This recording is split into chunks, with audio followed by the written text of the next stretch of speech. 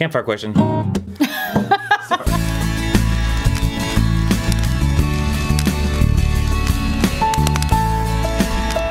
Where we answer your questions about life, the universe, and marriage RV counseling. camping. And marriage counseling, I guess. Outdoor Nut asks, living in a small space, how do you not get on each other's nerves? Who says we don't? I guess. Sad. You No. think I, I get on your nerves? No, never, honey. Really? No, you don't. You don't. Well, you were strangling me. Well, I was joking. I was laughing. It was a funny strangle. No, it's a good question. It really comes to the heart of the whole RV experience. You're in a small space with other people. You know, you really need to think carefully, I guess, about how your relationship is going to flourish in that environment. I've often joked if your first RV trip doesn't end your marriage, it'll probably strengthen it. We had a lot of people say that to us when we got married and we took our Airstream on our honeymoon the first year. They're like, oh, you'll either end up divorced or you'll be married forever. You know, it was sort of one extreme to the other, which I think is kind of funny. Well, if you have a relationship where you are constantly at odds with your spouse, then you're going to be adding some stress to your relationship mm-hmm. because it can be a challenge at times traveling around with an RV rig, especially if you're full timing and placing a lot of demands on your rig. Things are going to happen. You're going to have uh, tires blow out.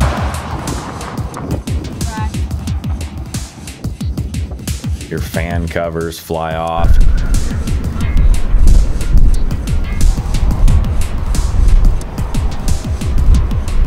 We're going to do RV repair.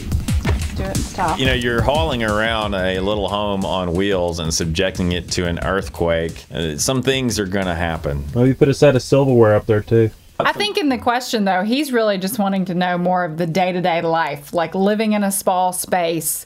How do you make that happen?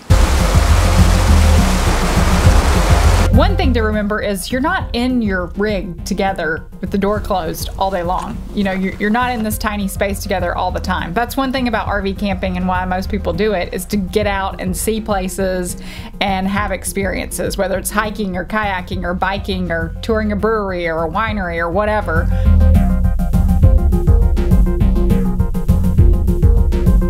Clean out the thief. We go taste the Cabernet. Yeah. So a lot of times we aren't really in our camper, we're out and about. And then when we are in our camper, and, and our Airstream's a pretty small space. Yeah. You know, it's not the smallest out there, but it's not nearly as large as a big fifth wheel or motorhome. Yeah, I mean, we're 25 feet, so that's pretty compact. but we have our own little areas mm-hmm. and you know i've got my little desk i can go sit at my laptop and i can do some work on long long honeymoon yeah. And that can be my retreat maybe i'll put on headphones and edit video Yeah, I'll go sit on the bed, you know, put on headphones to listen to music or read a book or watch TV show or whatever. So I think headphones are one thing because if I want to watch a TV show and Sean doesn't want to watch a TV show, I plug in my headphones and he doesn't have to hear whatever's going on. So I think just being considerate of the other person in those kind of scenarios. And there are probably times when you may want to retreat outside i mean mm-hmm. if you if you just want some alone time or to step apart from your travel partner i might go out and shoot video of moose you know i might go out and do some photography i have my own sort of interest i'm into photography and video Yeah. so i go out and i do that sort of stuff and Yeah, sometimes Sean will get up early in the morning, like 5:30 in the morning, and go photograph moose. That's not my thing, so I typically don't do that with him. He will take the truck, drive to photograph the moose, and I stay at the camper and hang out or sleep or whatever. If it's that early in the morning, I'm probably not just getting up to sit around. So that's that's kind of my passion. So I get up and I go do that by myself. Christy sometimes she has a similar passion where she will go to this place called Ulta and know it was just coming. spend hours and hours hiking up and down those aisles, carefully examining everything in there. You're stealing the show, baby girl, as usual. And that's just not really my passion. That's right. That's right. It could be a situation where one of you wants to go take a yoga class and the other person doesn't. You sort of trade off on who takes the car or who stays behind, you know, and you work it out. I think one thing that's really important though is to communicate how you're feeling.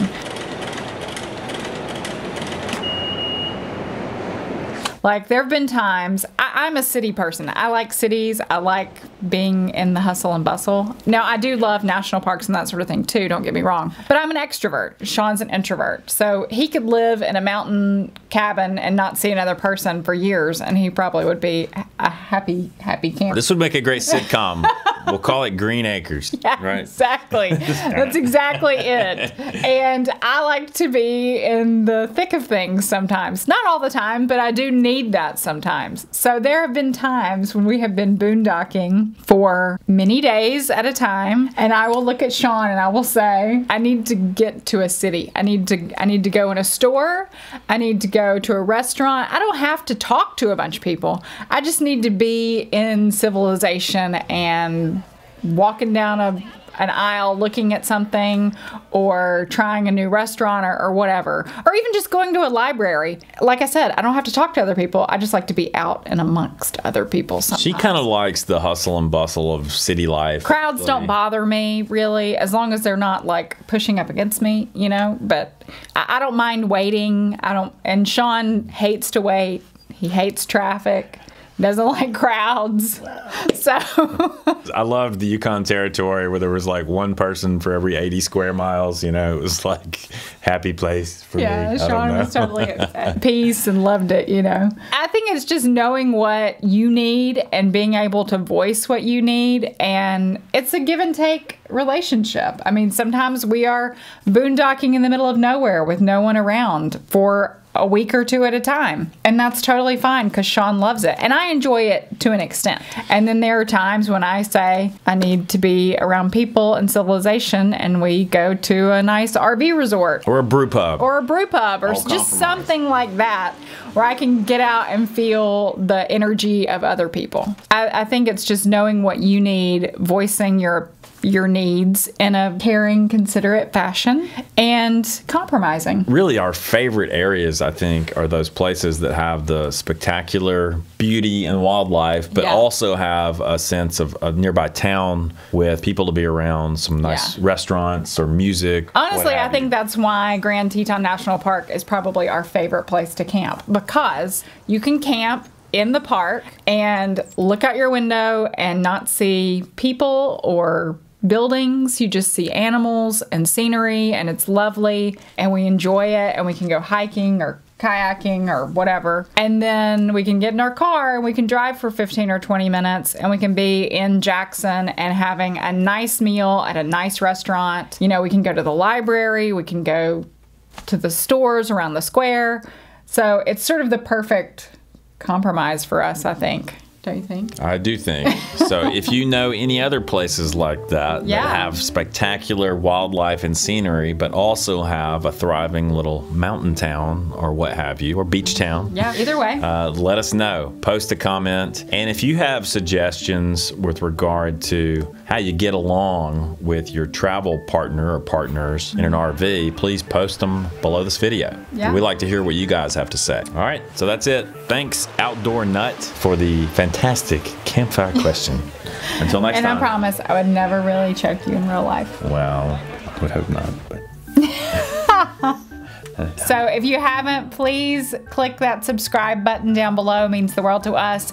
If you want to make sure you never miss a long, long honeymoon video, be sure to click the little bell icon next to the subscribe button and you will get a notification every time we post a new video. If you haven't, please like our Facebook page, follow us on Instagram, Ask us a campfire question, we just might answer it. That's right, you might be featured here. We are Sean and Christy. This is the Long Long Honeymoon where we say, La Hey guys, if you like our videos, a great way to say thank you is to shop using our store on Amazon. You can find it at amazon.com slash shop slash long long honeymoon. Everything you need for your next RV adventure awaits in our store. But you don't have to just buy camping gear. You can use our store to buy anything that Amazon sells. When you make a purchase using our store, we receive a small commission. We're reinvesting those commissions into the production of our show. So, a great way to support Long Long Honeymoon is to do all of your Amazon shopping using our store. And one other thing to remember all purchases made in the Amazon store are completely private.